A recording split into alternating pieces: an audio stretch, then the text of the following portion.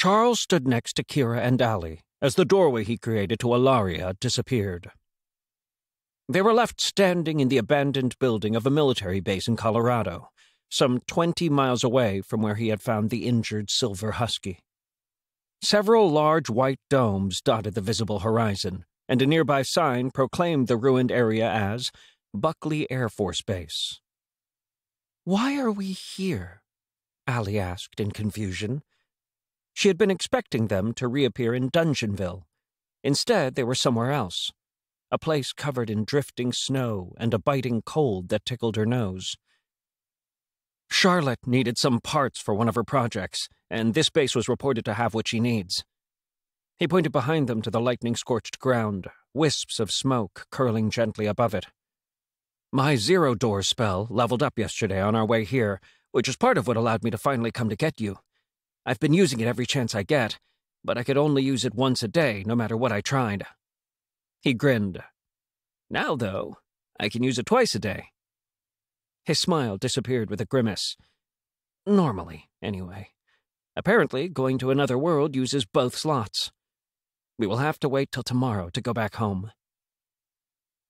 In a show of control that she hadn't possessed before, Kira summoned her weapon.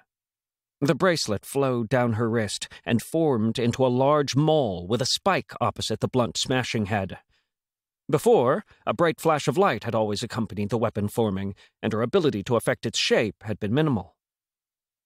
Charles didn't say anything as he saw how the sight affected Alli. They had been growing stronger and more adept in their skills, while she had been stuck learning from a goddess. It was a more than a decent trade, in his mind. To her, the sudden difference might make it feel less so. Don't worry, we haven't left you behind or anything he told her gently. I have only leveled up to 21. The experience needed to go from 19 to 20 was double what I needed to go from 18 to 19. It is a somewhat similar jump to what happened at 15.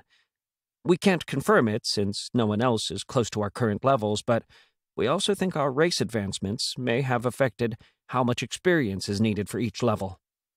That, and we haven't been focusing on hunting monsters as much lately. Kira cut in, pointing her large hammer effortlessly at the approaching group of rabid animals. The weapon must have weighed at least thirty pounds minimum, but she handled it as though it weighed nothing. Though, I have reached level 19, same as you. Level 15 was the cutoff for normal people. It was the level that separated the warriors from those that would be regular villagers. It required the same amount of experience you had earned up to that point to move up that single level. Thankfully, it went back to normal once you reached level 16, with only minor increases needed to reach 17 and up. Charles couldn't help grinning happily as he faced the pack of overgrown animals. The ability to level up did not belong to just humans, animals could do it as well. The examples in front of them were what happened when they hunted their own kind. They went feral first, and then rabid, losing any ability they had once possessed to think. They became nothing more than another monster to be hunted. His eyes flashed golden for a moment as he was tempted to use his divine abilities. He didn't believe the desire was bad. It was simply too easy to become reliant on them. Not to mention, he had spent so much time practicing his magic that it would be a waste to use such a strong ability on the weak. In any case, he could only use the dispersion spell once a day. It made no sense to waste it on the weaklings.